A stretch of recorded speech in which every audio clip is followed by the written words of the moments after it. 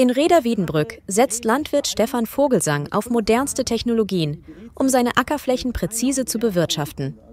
Mit Precision Farming sorgt er mit Hilfe von GPS und Sensoren dafür, dass Saat, Dünger und Pflanzenschutzmittel exakt dort eingesetzt werden, wo sie benötigt werden.